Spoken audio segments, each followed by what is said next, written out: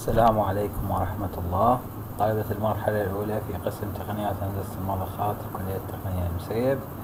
جامعة الفرات الأوسط التقنية رحب بكم في محاضرة جديدة من محاضرات مواد الميكانيكي الهندسي. محاضرة اليوم هي المحاضرة الأولى بالجزء الثاني من الميكانيكي الهندسي اللي هو الدايناميك. تعرفون أنتم كل المواضيع اللي أخذناها سابقا تحليل القوى العزوم الاتزان الاحتكاك الهياكل ال trusses ال centroid كل أنواعه ال moment of inertia بكل أنواعه. وبالحقيقة أكو أيضا مجموعة من المواضيع الإضافية أيضا بال بال static يعني أنا ما أنطيتها بناء على موضوع التقليص بالمنهج. يعني اكو بعد distributed force اكو ال work الشغل اكو مواضيع ال screw ذني البراغي ال frameات اكو عدة مواضيع من تفتح المصدر الخاص بال بال static تلقى انه هاي المواضيع انت ما ماخذها كمحاضرات ذني من المواضيع اللي يعني خلصتهن يعني ما أنطيتكم اياها طبعا أنا اختيار التقليص كان مو يعني عبثي.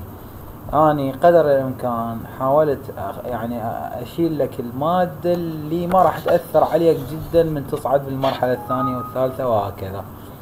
ف والمواد اللي حرصت إنه أنطيك إياها لأن مهمة جدا جدا ولها علاقة بأساسك وبالمواد اللي راح تأخذها إن شاء الله بالمراحل القادمة.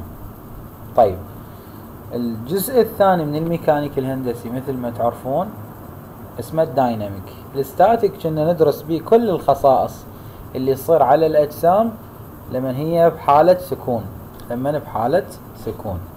هنا ال dynamic من اسمه بعد هو ال dynamic؟ راح ندرس الخصائص اللي يتأثر بها أي جسيم.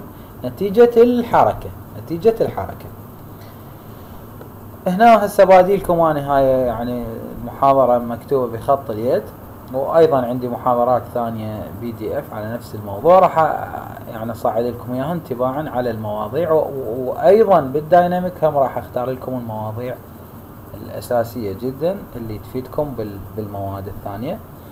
فال dynamic مثل ما تشوفون هسه هنا التعريف مالته هو جزء part of mechanics جزء من الميكانيك لأن قلنا الميكانيك static و dynamic with the analysis يتعامل مع التحليل الأجسام in motion. تحليل الأجسام في حالة الحركة في حالة الحركة. طيب أكو نوعين أساسية نوعين أساسية بال dynamic يعني خلينا نقول ال dynamic هو عبارة عن جزئين أساسيين. الجزء الأول يسموه ال kinematics والجزء الثاني يسموه ال kinetics.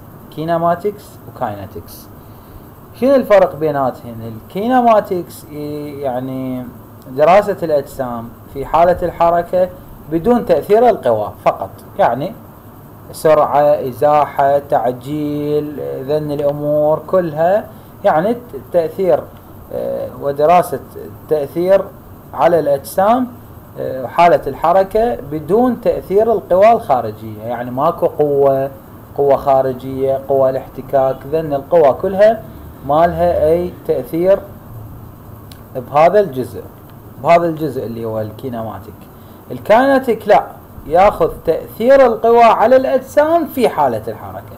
تأثير القوى على الأجسام في حالة الحركة. يعني هو خلينا نقول جزء متقدم من ال kinematic ليش؟ بإضافة موضوع تأثير القوى.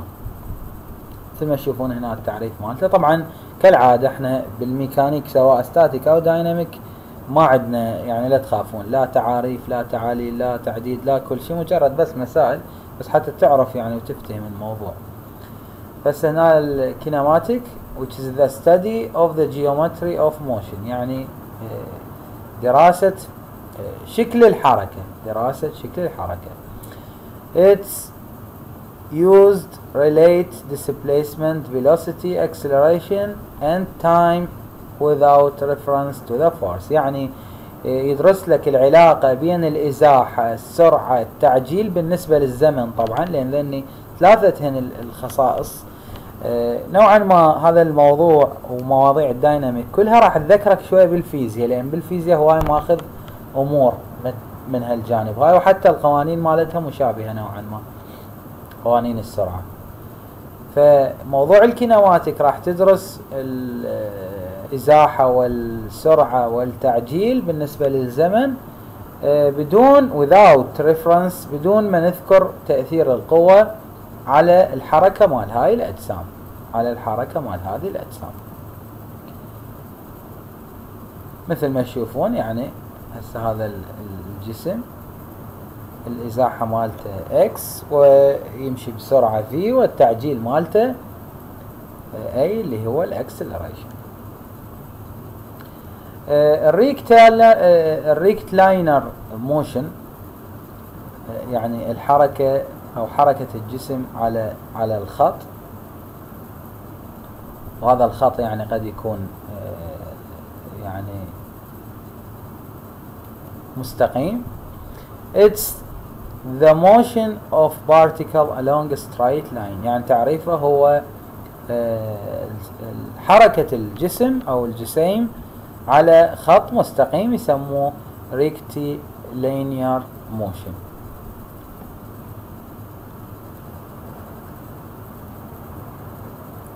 يعني هنا فد يعطيك فد تمثيل للحركة الخطية. يقول لك أنا هنا بديت من نقطة الصفر وعندي هذا الجسم هنا هذا الجسيم. آه هذا الإزاحة مالته أربعة متر لأن نتحرك من هاي النقطة صفر لهذه النقطة. هنا الإزاحة مالته سالب ثلاثة متر على أساس الاتجاه. هنا يقول لك the displacement is positive to the right of the point O و negative to the left of the point O. يعني أساسيات الفيزياء أساسيات الفيزياء. طبعا تعرفون بالنسبة للفيزياء الجسم عنده إزاحة. الإزاحة معدل الإزاحة على الزمن تصير آه، سرعة والفرق بالسرعة على الزمن تصير تعجيل. وبالنسبة للرياضيات اشتقاق معادلة الإزاحة تعطيك السرعة ومن ثم اشتقاق معادلة السرعة تعطيك تعجيل والعكس صحيح. تكامل معادلة التعجيل ترجعك للإزاحة. وتكامل معادلة السرعة ترجعك للإزاحة. بالنسبة للزمن راح نشوفهم ذني بالنسبة للمسائل راح نشوفهم بالنسبة للمسائل هنا معدل السرعة يقول لك هذا الجسم بدأ من نقطة صفر لحد نقطة A صار عنده إزاحة. بعدين لحد نقطة B. الفرق هذه الإزاحات على الزمن يطلع لك معدل السرعة يطلع لك معدل السرعة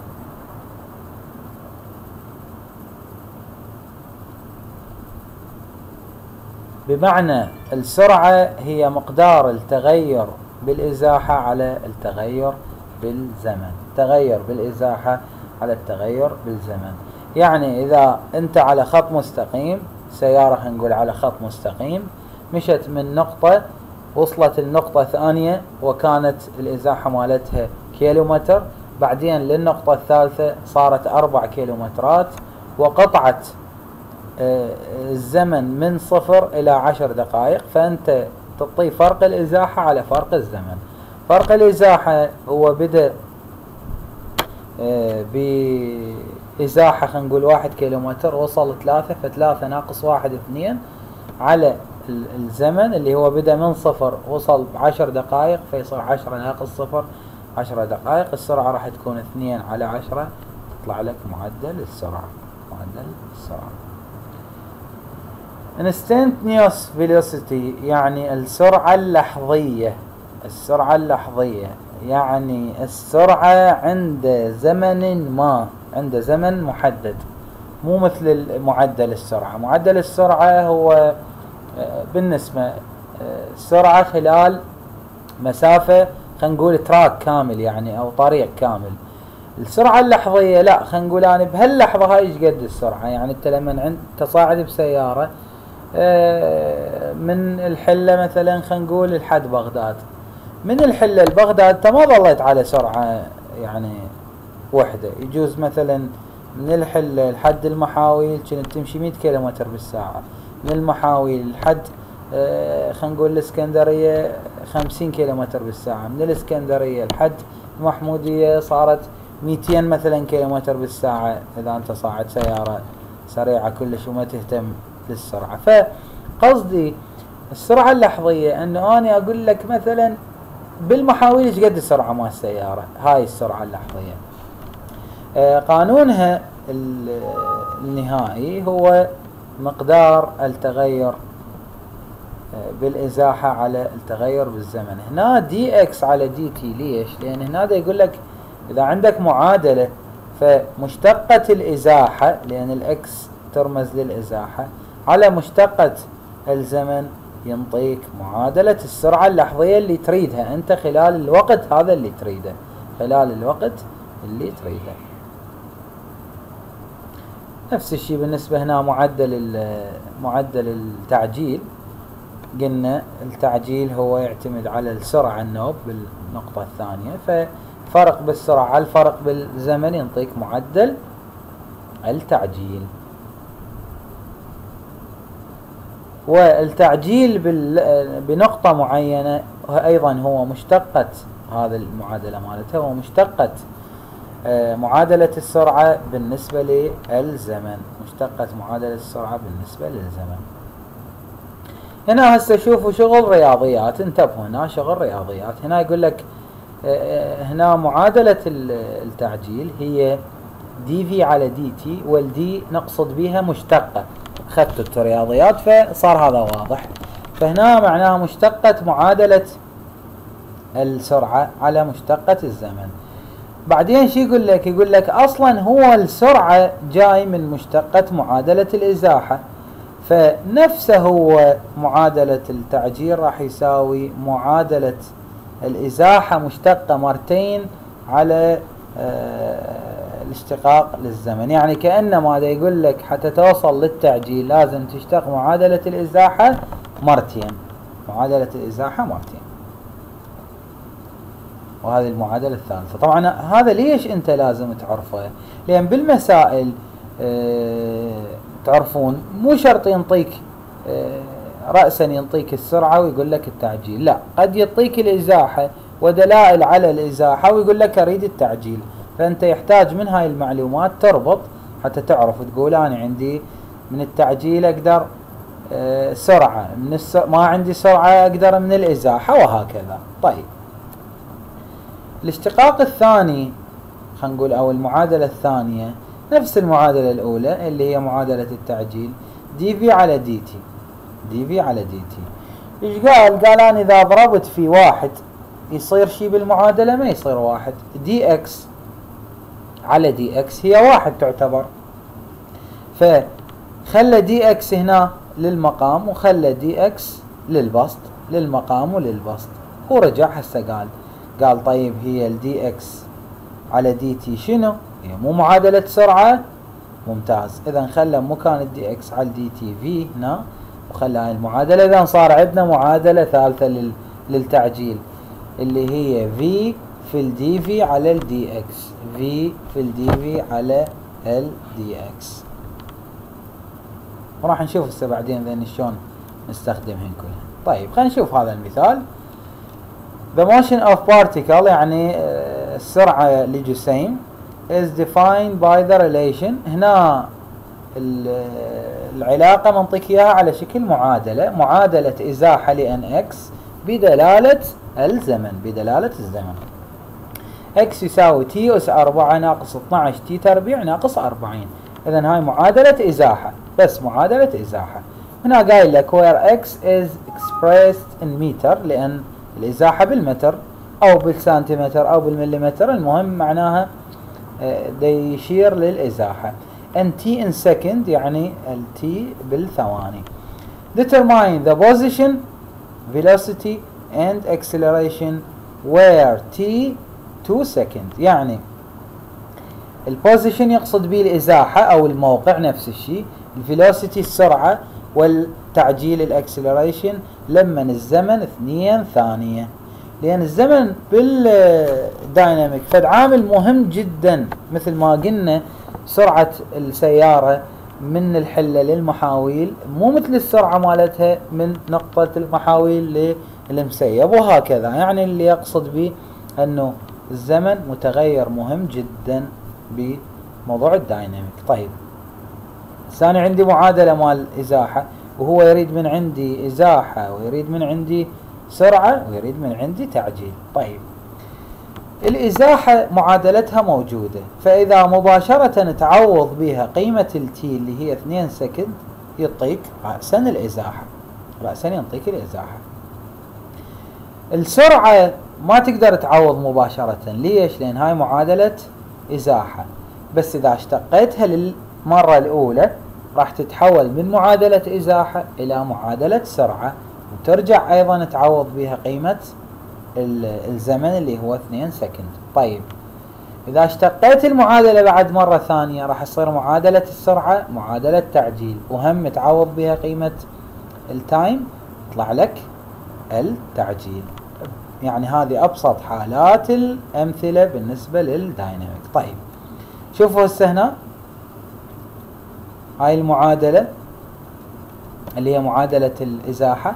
عوض مكان ال t 2 second طلعت الإزاحة سالب 72 متر. طبعا السالب هنا دلالة آه، للاتجاه فقط. دلالة للاتجاه. مو معناها إنه هي القيمة سالبة لا. لأن الإزاحة كأنما أنت واقف بنقطة. إذا تروح آه، إلى الأمام 10 أمتار موجب بس إذا رجعت لي ورا نفس الشيء بس تقول 10 أمتار بالسالب. ليش؟ لأن قيمة الإزاحة قيمة متجهة قيمة متجهة. تذكرون إحنا بداية الشرح للميكانيك قلنا أكو قيم آه، قيم متجهة وأكو قيم كمية فقط بس إلها يعني آه، كمية. مثلا تقول آه، الطول أربعة متر. هذا هو أربعة متر مفهومة.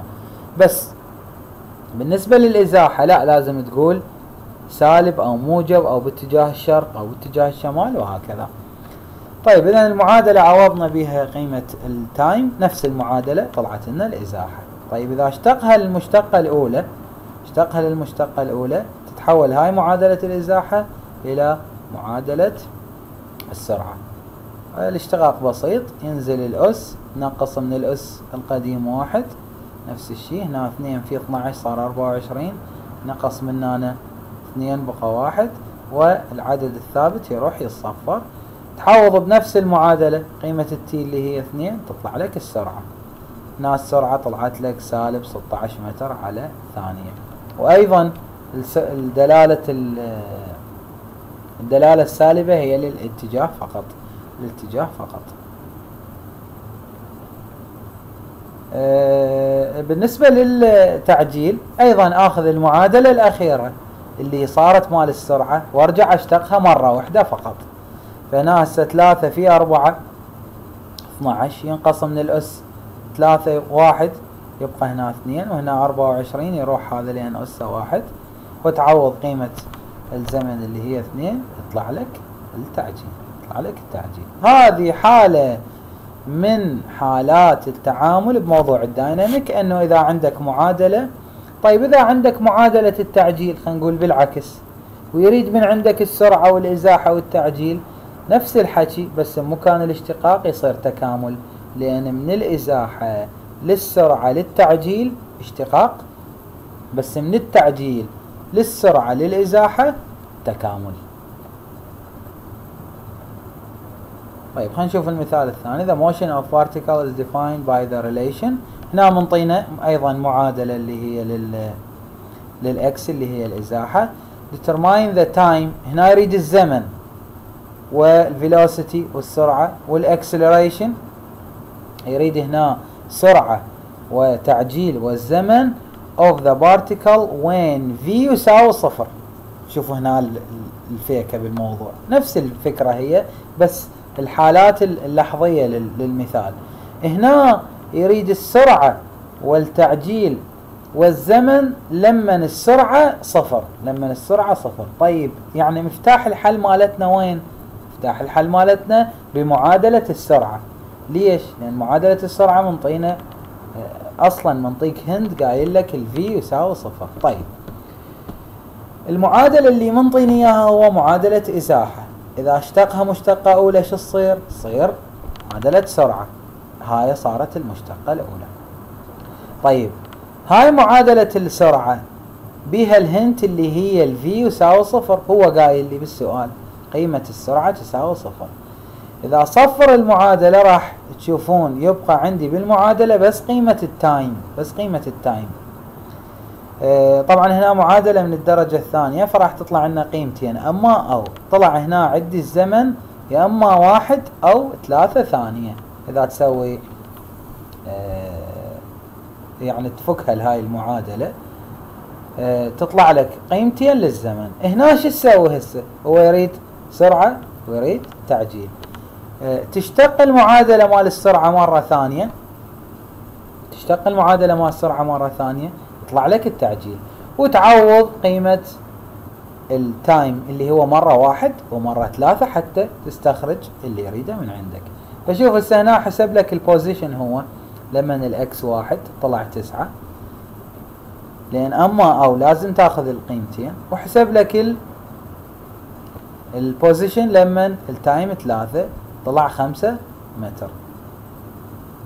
هاي معادلة التعجيل مثل ما تشوفون بعد الاشتقاق للمرة الثانية وأيضا عوض بها عوض بها قيمة التايم مرة واحد ومرة ثلاثة. شوفوا بالواحد طلع سالب ستة متر وبال 12 طلع موجب والسالب بالتعجيل معناها اكو تباطؤ معناها اكو تباطؤ نعم نعطيك فالتفسير the negative quantity of the acceleration mean either decrease in velocity يعني تقلل السرعة in the positive direction or increase in the velocity in the negative direction يعني يا اما هو دا يمشي للامام بصورة بطيئة أو دا يمشي للخلف بصورة سريعة والمعنى اثنين هن صحيح تمام مطالب بالتفسير لأن الرقم هو اللي راح يطلع لك هو الرقم آه، اللي يبين لك حالة الجسم. هو الرقم اللي يبين لك حالة الجسم.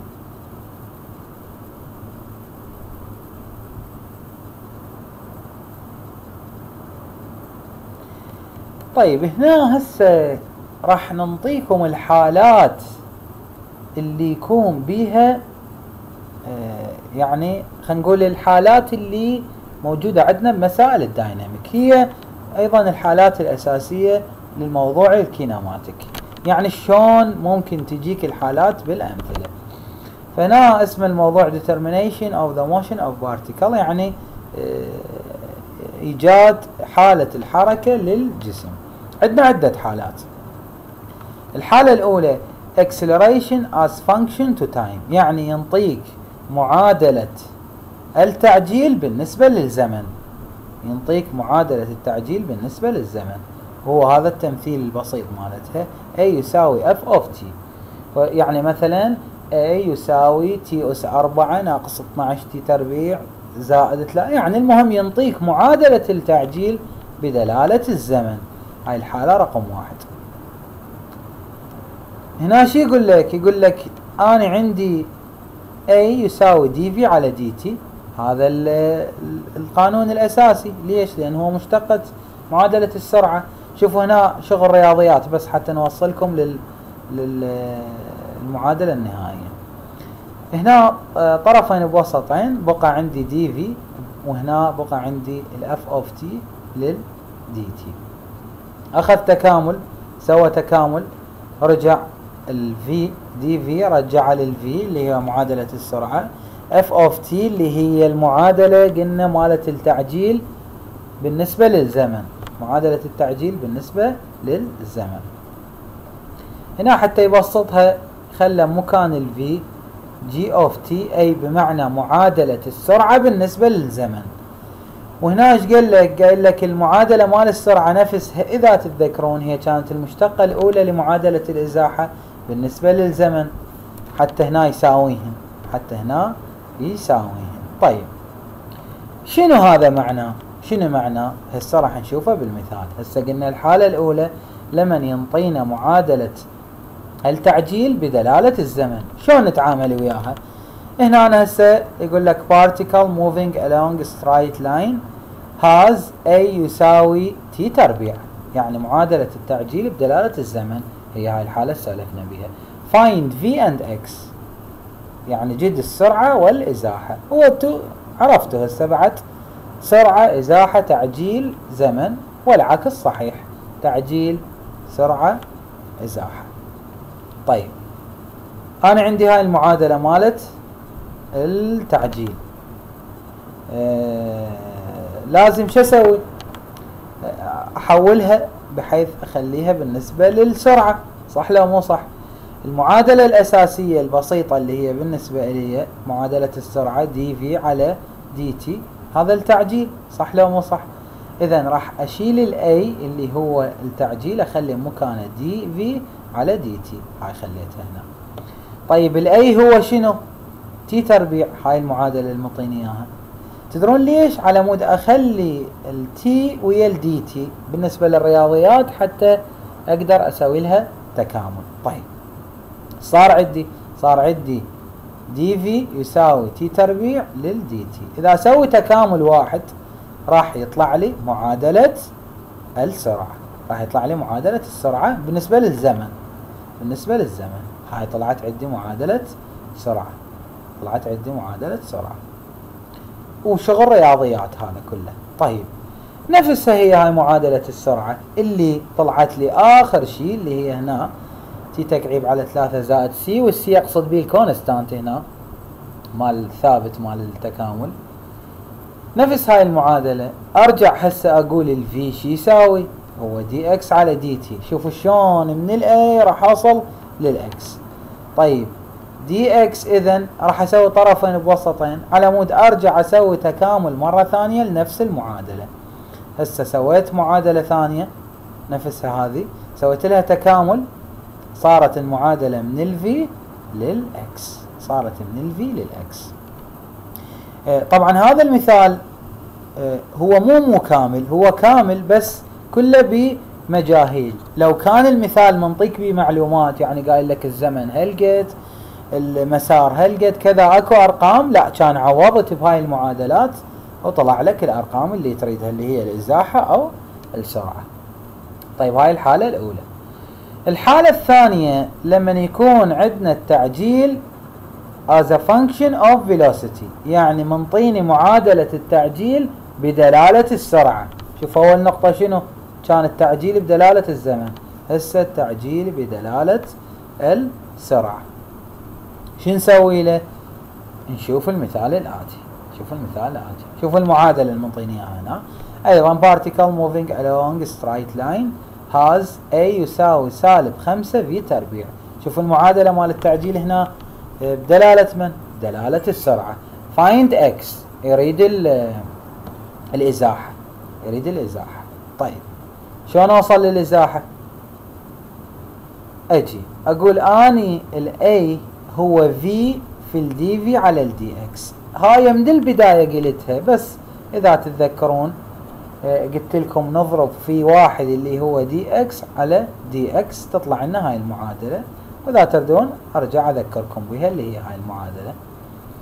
يعني أيضا ال A هو نفسه V dV على dx هذا على مود أشيل ال A وأخلي مكانه هذا ال term كله هذا ال term كله. شغل رياضيات يعني تعرفون بالرياضيات لازم المتغير ويا متغير مشابه له x ويا dx t ويا dt V ويا dV على مود بالرياضيات يكون المتغيرات متشابهة تقدر تشتغل بالرياضيات. أوكي. طيب. ال A راح نشيله نخلي مكانه V dV على dx ليش؟ لأن ال A بدلالة ال V فلازم كلهن يصيرن مشابهة طيب.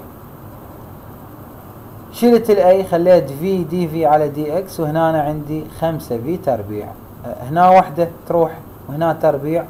كل سهولة المعادلة راح تبقى dx يساوي V في ال dV على خمسة V تربيع. طبعا أنا ما أريد dx أريد x اللي هي المعادلة النهائية. فأبسطها رياضيا أبسطها رياضيا. أسوي تكامل هنا. ال dx يصير x وهنا تعرفون دالة هاي بالرياضيات هاي شغل رياضيات. دالة بالمقام مشتقتها موجودة بالبسط إذا التكامل مالتها ln المقام ln المقام. طبعا هاي الواحد على خمسة طلعها لأن رقم صحيح يعتبر ثابت. فال x يساوي سالب واحد على خمسة ln ال V زائد C هذا اللي هو ال constant اللي هو ال constant.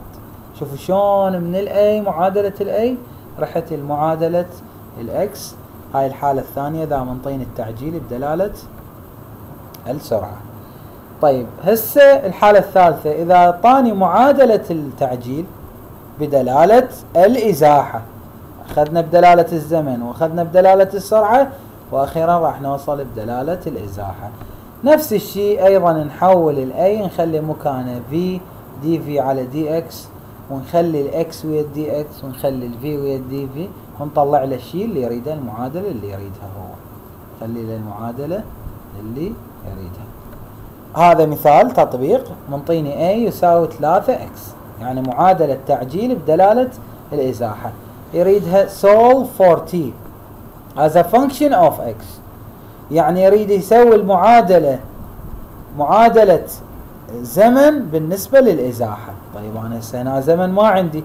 شلون أسوي هذا الزمن؟ أجي أشيل ال A أخلي مكانه V dV على dx شوفوا هنا.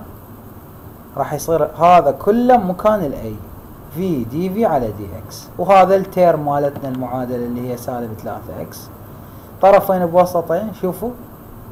ناقص 3 x راح تجيها dx يصيرن سوا وال v ويا ال dv هسه بالرياضيات أقدر أحلها. ليش؟ لأن كل واحد ال term مالته مشابه له ال v dv هذا تكامله واحد يصير في تربيع على اثنين والاكس إكس تربيع على اثنين. هاي ثلاثة رقم صحيح. معادلة كلها ضربها في اثنين للسهولة. ظلت عندنا آخر شيء المعادلة. هسه صار عندي معادلة سرعة بدلالة الاكس هو هذا المطلوب؟ لا مو هذا المطلوب. ليش؟ لأن هو راد معادلة الإزاحة بالنسبة للزمن. ما راد معادلة السرعة بالنسبة للإزاحة. إذا لازم أرجع أسوي تكامل ثاني لمعادلة السرعة. أوصل به المعادلة الإزاحة بس بالنسبة للزمن. طيب نشوف شلون. هاي المعادلة الأخيرة اللي وصلت لها اللي هي معادلة السرعة. طيب.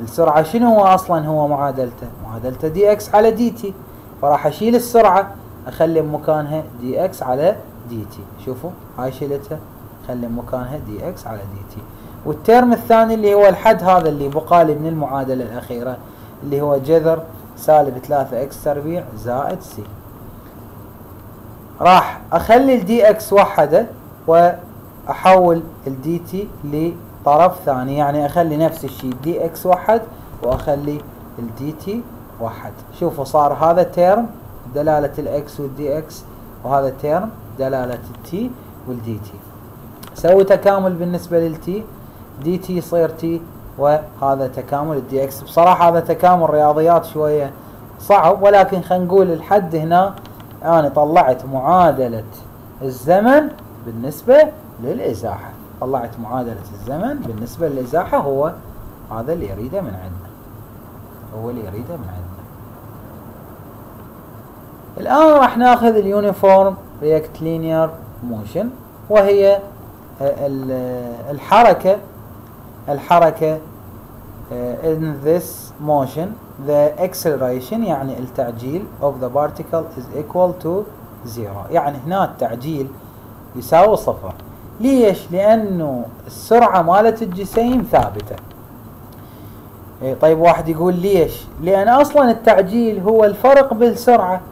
يعني أنا هسه أقول لك آه، من نقطة واحد السيارة كانت السرعة مالتها 100 كيلومتر. النقطة اثنين السيارة ظلت السرعة مالتها 100 كيلومتر. إيش قد التعجيل؟ التعجيل صفر لأنه جاي من الفرق بين السرعتين. فمية ناقص مية على الوقت يعطيك التعجيل صفر. فهنا نوع من أنواع الحركة اللي هي يسموها ال uniform rectilinear motion آه، فالدلالة أنه تعرف بها ترى التعجيل يساوي صفر والسرعة هنا ثابتة ومستمرة. طيب هنا راح ننطيكم المعادلات اللي أنتم تتذكروها اللي ماخذيها بالفيزياء. شلون صارت هنا؟ هنا هذا يقول لك انت تتذكر القانون مال ال v اللي هو dx على dt خلي ال dx على جهة وخلي ال v وال dt على الجهة وتكامل كل واحد لوحده. هنا إيش راح يصير راح يصير ال x ناقص x note يعني الإزاحة النهائية ناقص الإزاحة الابتدائية والفي دي تي طبعا ليش في دي تي لأن هنا أنا دا اكامل بالنسبة للزمن فالفي هنا كونستانت يعني كأنما رقم عادي. ال dt تصير t وراح نحصل أول قانون من هاي القوانين اللي هي لما عندنا السرعة ثابتة. x يساوي x nought زائد v t يعني لما تريد الإزاحة النهائية لازم تساوي الإزاحة الابتدائية زائد السرعة في الزمن. هذا القانون رقم واحد. نعم نعطيك ملاحظة مهمة جدا. يقول لك هذه المعادلة تستخدم فقط إذا كانت سرعة الجسم في حالة آه ثبات يعني سرعة الجسم ثابتة من نقطة إلى نقطة. مو سرعته متغيرة. إذا صارت عندنا معادلة رقم واحد. الآن Uniform Accelerated Rectilinear Motion. هنا عندنا التعجيل مو صفر بس ثابت. هنا التعجيل مو ثبت آه مو صفر ولكن ثابت. أي بمعنى؟ بالنقطة الأولى كنا نقول السرعة بين النقطة واحد والنقطة اثنين نفسها هنا التعجيل بين نقطة واحد وبين نقطة اثنين هو نفسه ثابت. إيش راح يصير هنا عندنا؟ راح نجي لهذا القانون اللي هو قانون ال dv على dt يساوي a أسوي له تكامل مثل ما تشوفون. ال dv اكامله واحد وال a هنا أيضا راح يكون constant لأن بالنسبة للزمن. راح يبقى عندي المعادلة النهائية اللي هي V يساوي V nought زائد AT يعني السرعة النهائية راح تساوي السرعة الابتدائية زائد التعجيل في الزمن. شنو معناه؟ معناه إنه ترى السرعة هنا مختلفة يعني السرعة رقم واحد مو نفس السرعة رقم اثنين. وهنا ال v nought هي دلالة للسرعة الابتدائية وال v دلالة للسرعة النهائية. اكو مصادر يكتب لك v واحد و v اثنين مو مهم. v واحد تدل على السرعة الابتدائية و v اثنين على السرعة النهائية. هاي معادلة رقم واحد. آه، من الاشتقاق هذا أيضا نقدر نسوي معادلة رقم اثنين لنفس الحالة اللي هي حالة الثبات بالنسبة للتعجيل اللي هي x يساوي x nought زائد v nought في t زائد at تربيع على اثنين. اذا لازم تحفظ القوانين. آه هنا إذا تلاحظون معادلة إزاحة وأكو معادلة إزاحة أخذناها رقم واحد. بس ذيك لما يكون عندك التعجيل يساوي صفر هنا لا لما التعجيل مو يساوي صفر. لمن إلى قيمة. أه وحتى ترجع لذاك بكل سهولة. إذا تتذكرون كنا نقول التعجيل قيمته صفر. إذا صفرنا التعجيل هذا ال term كله راح يروح وترجع عندنا المعادلة نفسها مال x يساوي x nought زائد v في ال t لأن قوانين السرعة مهمة. عندنا بعد اشتقاق ثاني من آه، اشتقاقات التعجيل. نوصل به لقانون آه، السرعة اللي هي v تربيع يساوي V naught تربيع زائد اثنين A X ناقص X naught. الفرق بين هاي المعادلة وهاي المعادلة إنه أنت هنا تطلع السرعة هاي المعادلة. هنا تطلع السرعة إذا كان عندك معلوم التعجيل والزمن. هنا طلع السرعة النهائية. هنا تطلع السرعة النهائية إذا كان عندك التعجيل والإزاحة يعني بمعلومية الإزاحة تقدر تستخرج السرعة. بس إذا ما عندك الزمن تستخدم هذه المعادلة اللي هي معادلة رقم ثلاثة. إذا عندك الزمن تقدر تروح على آه، ذيك المعادلة. المهم ذن المعادلات يفضل أن تخليهن قدامك من يجي آه، موضوع اليونيفورم acceleration motion أو النوع الثاني اللي هو لما تكون الإزاحة مو صفر تخلي القوانين قدامك وتشوف المعطيات وتقدر تحل على أساسها. هنشوف هذا المثال اللي هو تطبيق لهاي القوانين اللي أخذناها. automobile يعني سيارة travel 360 متر منطي إزاحة at 30 second. يعني آه، منطيك المسافة اللي قطعتها هاي السيارة والزمن. قطعة 360 متر ب 30 ثانية. While being بهالاثناء accelerated صار اكو تعجيل at constant rate. ها شوفوا انتبهوا هاي. constant rate يعني عدي الحالة اللي يكون بها التعجيل آه ثابت. مو قيمته صفر. يعني ما تقدر تاخذ أول معادلة. of point متر على ثانية. طبعا هاي هنا غلط لأن هو التعجيل آه متر على ثانية تربيع. متر على ثانية تربيع بس هنا عندي خطأ ناسي. التربيع هنا. لأن وحدات التعجيل متر على ثانية تربيع. طيب. Determine its initial velocity يريد السرعة الابتدائية. والفيلوسيتي اللي هي السرعة الاعتيادية أو خلينا نقول النهائية. والنقطة الثالثة distance traveled during the first 10 seconds. يعني هو مو ب 30 ثانية. قطع مسافة 360 متر. يريد بالأول عشر ثواني إيش قد انقطع من هاي المسافة؟ إيش قد انقطع من هاي المسافة؟ طيب. نقطة رقم واحد مثل ما قلت لكم يعني هيك حالات حتى ما تدوخ تخلي القوانين قدامك. وتقدر تخلي حسب المعطيات اللي موجودة. طيب آه هنا عندنا قانون الإزاحة. أكو سرعة آه أكو إزاحة ابتدائية قد يكون وأكو ماكو إزاحة ابتدائية.